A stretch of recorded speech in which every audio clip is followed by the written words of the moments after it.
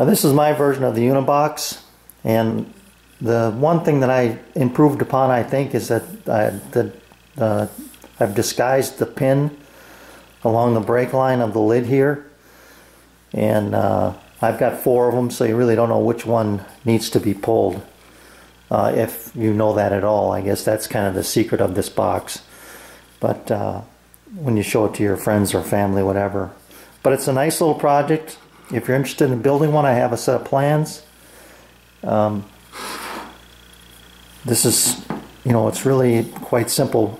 It's just box joints, but um, to get all three sides to, or all four, five sides to go together, and then to get the lid to fit nicely, it does take a little bit of work.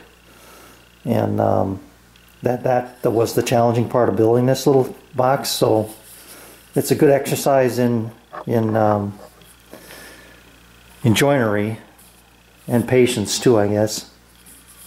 So you're you're kind of wondering which pin is it that that that needs to be pulled. You know, it doesn't come out.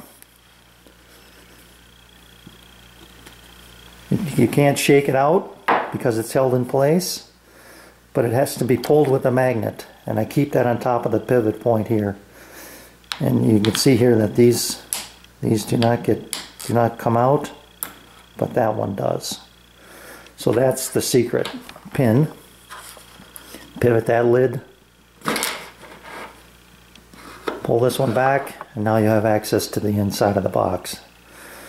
And the reason that this pin does not come out is because I've got another rare earth magnet here super glued to the sidewall and it's got enough power through that thin wall there to hold that pin in place.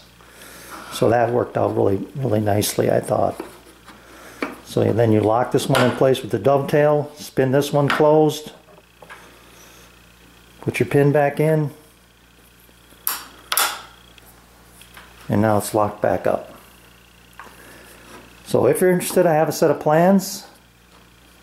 Um, if you just want to kind of wing it from here, why, that's my version.